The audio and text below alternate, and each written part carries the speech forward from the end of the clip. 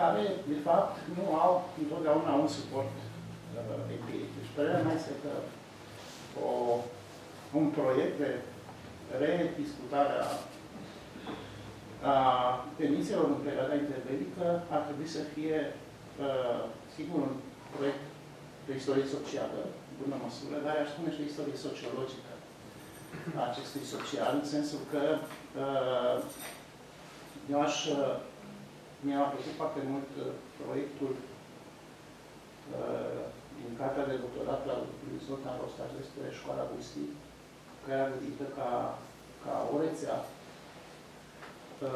și uh, ca un sistem în care fiecare actor se poziționează în funcție de ceilalți și în funcție de dinamicile unui câmp cultural. Ei mi-ar place foarte mult ca această idee să prindă până la urmă corp și să fie cumva Chiar vreau să într-o, într-o... reeditez, adică o revizitare, practic, în acea structură pe care vreau să rescriu Ok.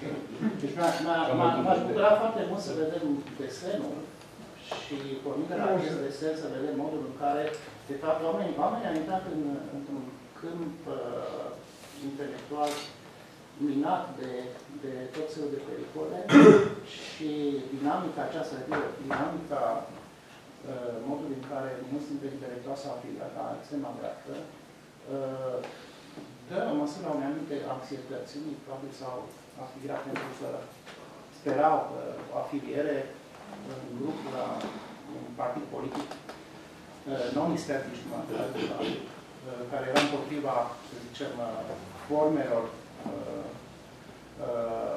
prestabilite de a face politică, de a guverna în, uh, în România, de a putea ajuta inclusiv în carieră. Alții însă cred că s-au lăsat pur și simplu târâți de, sau timorați de, de evenimente și există o dinamică a filierilor care nu este întotdeauna foarte limpede și foarte clară și cred că ar fi extrem de interesant de investigat acest, acest aspect. Um, cred că am putea să construim instrumentele în astfel de sociologii cu ceea ce există deja. Uh, epistolarele sunt uh, o sursă extrem de importantă și generoasă a raporturilor directe. Da. Să pensia da. Exact. Deci, uh, să zicem, o bază documentară ar exista și asta ne-ar ne putea ajuta să punem cumva discuția pe un teren mai, mai ferm, mai clar, articulat, uh, mai lucid, spune. Dar mă opresc aici. Mulțumesc, domnule profesor. Uh, aș, uh, ca să rămânem oarecum tot așa la un nivel mai general al dezbaterii, aș îndrăzni să-mi cer permisiunea să-l invit pe domnul profesor Nastase Covaci, care este unul dintre cei mai buni cunoscători ai Profesor, ora 2, ora 14 nu este cea mai bună oră pentru întâlnire. La ora asta oamenii își fac siesta. Uh, iar în plus, uh, eu deja mi-am consumat muniția prin întâlnirea de la mine cu domnul Zoltan uh, Rostat. Sau în concluziile. Nu, am discutat interesant. Am discutat în primul rând despre cartea recent apărut domnului Butoi, da. Pe care o am într-o formulă pirat în PDF. Cea mai bună. Nu o dau, ți-am promis o ție și atât la el. Nu spun nimănui că mi-ai promis. Așa. Uh, și, și mă interesează, uh, cartea aceasta devine deja un soi de fenomen. Am să revin, nu asta e subiectul, dar pentru că am pomenit numele cărții despre Vulcănescu. Uh, generează ceva în cultura română prin câteva intervenții de, de ordin cărturăresc în presă, dar și, și nu numai.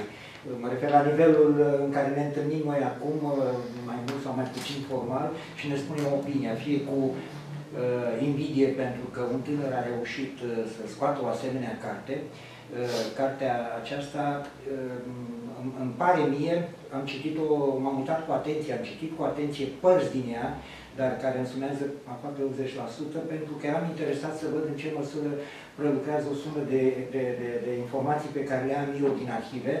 Multe el nu le are, dar cu nimic nu schimbă, cum să spun, mec, concluziile și ceea ce uh, surprinde autorul acolo, mai ales că uh, uh, reușește să facă, să țină un echilibru între, să zicem, uh, uh, istoria mică, adică istoria biografică, pentru care, care pentru mine este extrem de importantă. Uh, am, am, am scris de nenumărate ori, am mai luat la hârâială cu, știu, un Ștefan Borbei, care are motivele lui să creadă că opera este totul în viața unui individ. Uh, pentru mine cred că acest melanj, amestec între viață și operă, nu poate fi desfăcut, pentru că nu poți să fii ticălos la drumul mare. Eu cred că și opereta contează. Și opereta, uh, adică nu poți să vii aici să declami drept morala, cinstea, corectitudinea, că ești așa și pe dincolo, iar în viața privată să te poți ca un ticălos la drumul mare. Uh, suntem sătui de chestia asta. Dar am să, am să revin, poate o să mai discutăm pe bucăți, e doar o introducere și nu vreau să monopolizez discuția. În primul rând, pornind la ceea ce a spus Marius, efortul nostru, mai ales după 2010, este de a deconstrui tot ce ține de, de, de istoria perioadei interbelice. Până atunci, istoria interbelică a fost privită ca un model de democrație, uh, ca, o, uh, uh, ca, ca un mit pe care noi nu l-am trăit. Toată lumea, eu am trăit în anii 80, ducându-mă mereu la bibliotecă și rugând bibliotecar, aveam o relație personală așa mai, mai bună cu ea, să-mi dea cărți de la secret. Așa erau atunci cu S, să pot citi crezând că acolo mi se oferă cam tot ceea ce trebuie să cunoască un om cult. Între timp mi-a schimbat părerea societatea din perioada interbelică nu este un mic uh, diferită de cea pe care o vedem astăzi, dacă astăzi ne permitem să o criticăm prin toate formele uh, de, de conduită, începând de la oamenii politici și așa mai departe, până la uh, știu, dorința de a ne îmbogăți foarte repede și fără un efort consistent, lucrurile acestea erau chiar și atunci. Trec peste faptul că este o falsă idee de democrație. Dacă credeți că societatea interbelică a fost o societate democratică, ehm, sunt gata să, să, să susțin financiar o conferință pe tema asta. Când stai și te uiți la presa vremii, care tot la două, trei săptămâni sau de multe ori săptămâni întregi apărea cu cenzurat, cenzurat, cenzurat, luați-o, luați vă spun ca unul care am trecut peste ea, o bună parte din ea. Ehm, ehm, nu mai... O secundă. La doctorat. Astăzi citeam, de exemplu, pentru că mă ocup puțin de oportunism. Deci nu asta vorbeam dimineață cu Zori, uh, la, la, la oamenii, la cărturarii noștri în perioada interbelică și care s-au perpetuat și în anii regimului comunist. Discutam despre oportunism. Uh, Zoli a luat partea, cum să spun eu, bună a lucrurilor în sensul că, domnule, individul care știe să se folosească de oportunități, eu am luat partea uh, mai puțin bună a lucrurilor Uh, vreau să spun că istoria noastră, istoriografia noastră e plină de asemenea personaje și... Dar, uh, de fapt, ce voiam să vă spun? Că perioada aceasta interbelică, cred că anii 80 la care noi am și în anii 90 a fost plină de fantezii. Uh, am scris aici de idealism, de model de democrație. Vreau să spun că, nu, din punctul meu de vedere, nu se potrivește și că vreau să spun că trebuie să, să facem ceva, să o regândim să, să, să ne apucăm să uh, re, rescriem partea aceasta de istorie, care, din punct de vedere empiric, vreau să spun că cei mai atașați regimul istorici ai regimului comunist, de exemplu, de la lungul, știu care, scurtul și așa mai departe, au scris impecabil din punct de vedere empiric, adică nu, nu poți, până și cartea lui Mușați Ardeleanu, poți să fugi repede la ea, mă refer la cărămizile acelea, așa că imediat găsești tot ce-ți dorește, dacă în lipsa unui internet, a unui, cum să spune, a unui Google, totdeauna găsești acolo ce trebuie. Pe de altă parte,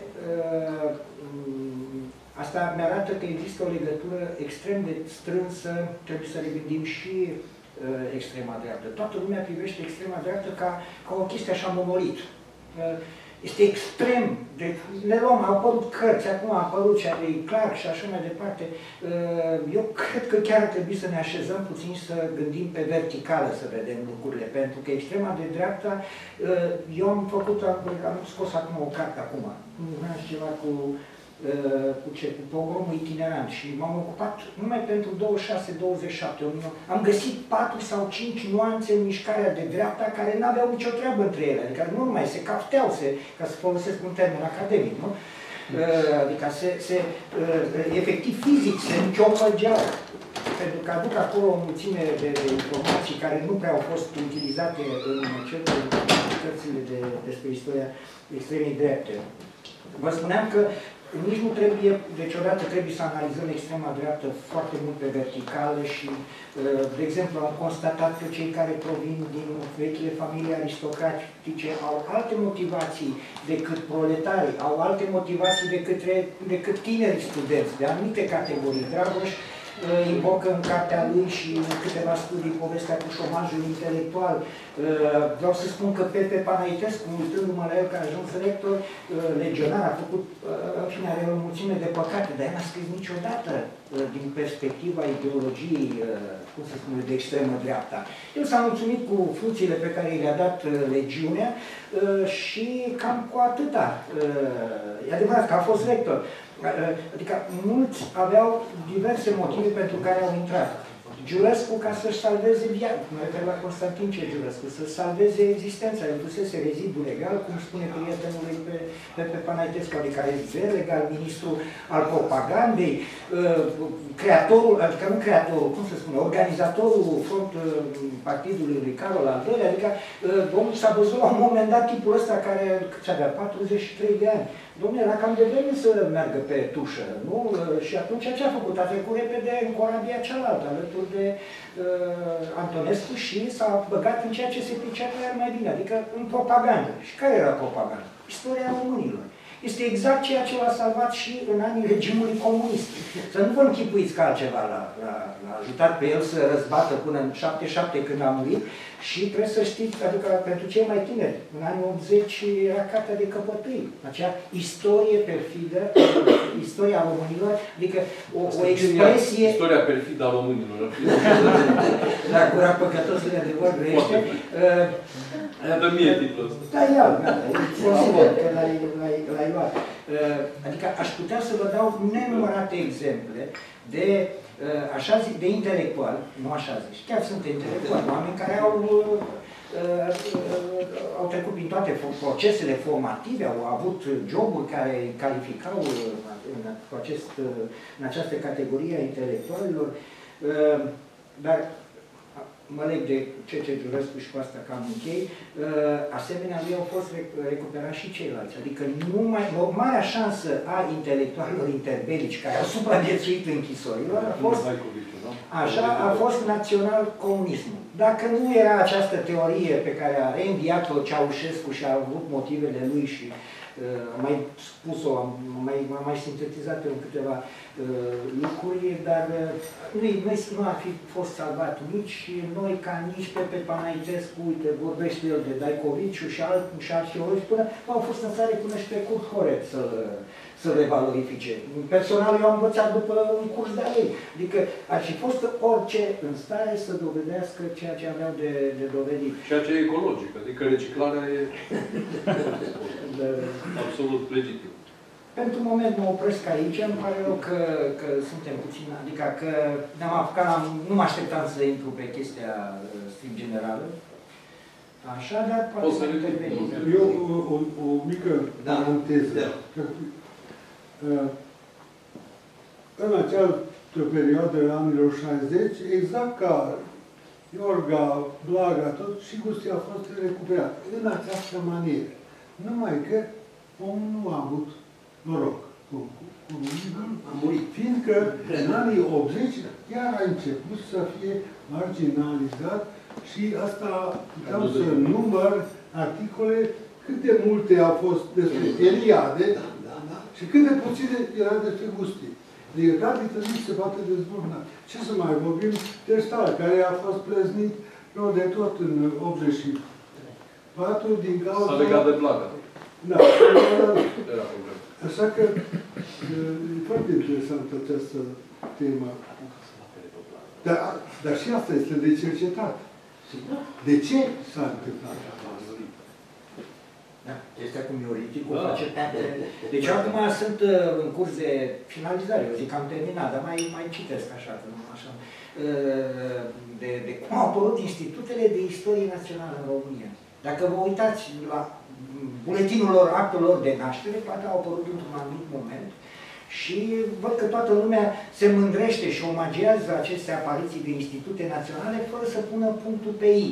Cine le-a fondat, cine, le cine stă în spatele lor ca ideologie, ca structură, ca toate astea, dacă veți vedea, toate sunt anii regimului Antonescu, iar tăticul lor este Mihai Antonescu. Și, uh, sigur, o să, o să dau, cred că la volumul pe care îl pregătești tu, la asta, am ce am spus, la asta mă refer cu, o să predau. Cu asta mă opresc. Mulțumesc. Uh, Potrivit uh, listei uh, alcătuite de domnul Costaș, a urmat să o invit pe doamna Corvina Timoce, uh, Mocanu, colega noastră de la Institut, care uh,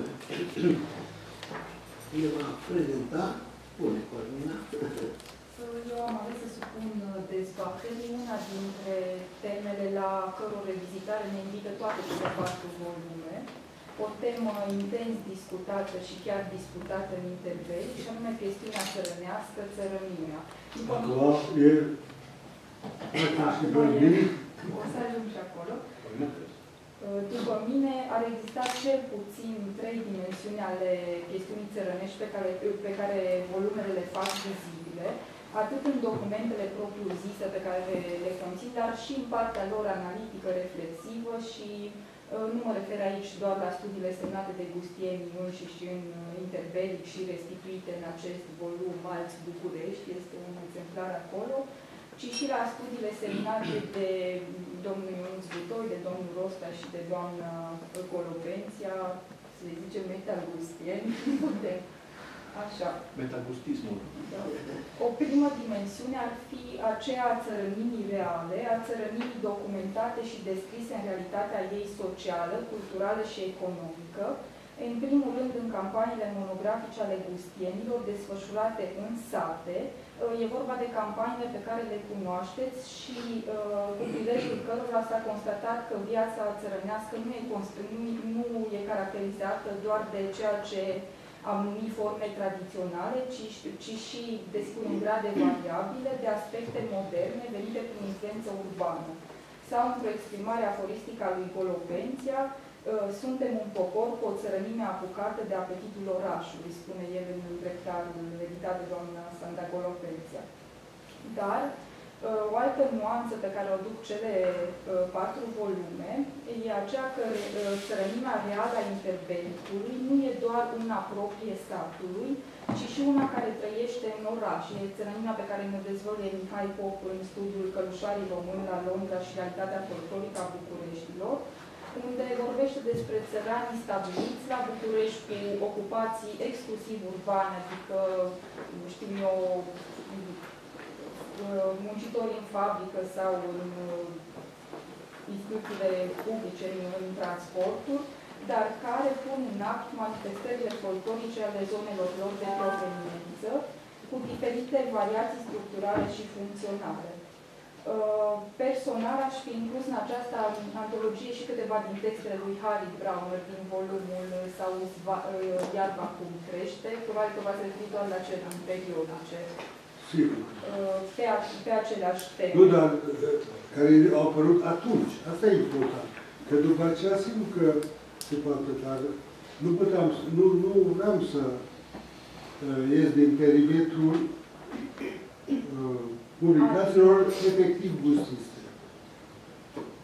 Iarăși, consider că o nuanță extrem de fină pe care o adaugă imaginii țărănimii reale epistolarul lui Stahl, este aceea țărănimii de la sate în contact cu intelectualul în ipostaza lui de monografist.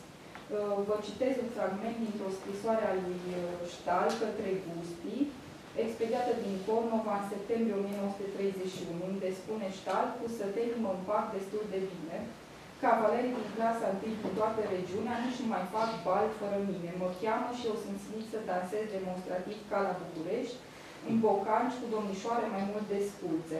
Știți că acum în sat există o modă monografică, cu cămașa răsfrântă, cu mânecile suflecate și cu cozorocul tăiat, adică cu șapca în formă de bască. În sat e o beție generalizată, spăimântătoare. Noaptea satul întreg urlă cântece monografiste. Se fac șezători de pelit, pene, de răsărite, de tors la care particip. Apoi se taie flăcăi încuțite și vinde mi se jeluiesc. Le dau cu iod și fac fișe pentru moralitate.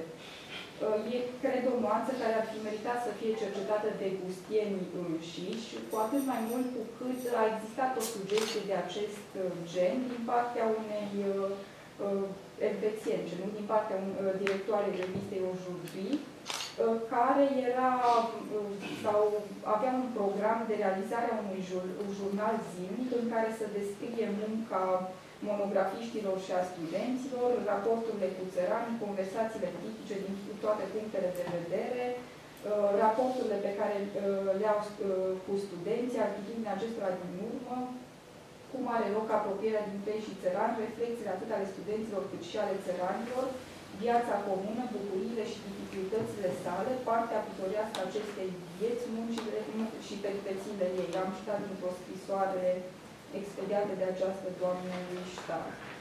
Apoi, uh, și mai interesantă mi se pare mie cea de-a doua dimensiune pe care o subînclin cele patru publicații, și anume a țărăninii uh, construite, a țărăninii modelate, în proiectul lui Gusti de intervenție socială, desfășurat inițial prin echipele uh, Fundației Culturale Principele Carol și apoi prin Serviciul Social, este un uh, proces care a, uh, a avut uh, drept miză să creeze în, acest, în acești țărani construiți, modelați, dacă vreți, o referință identitară. Și consider că există două nuanțe ale acestui proces, și anume, a fost o intervenție socială pentru construirea țăranului modern în mediul rural. Este vorba de ideea statelor model, pe care le numea Busti sate sistematizate cu toate îmbunătățirile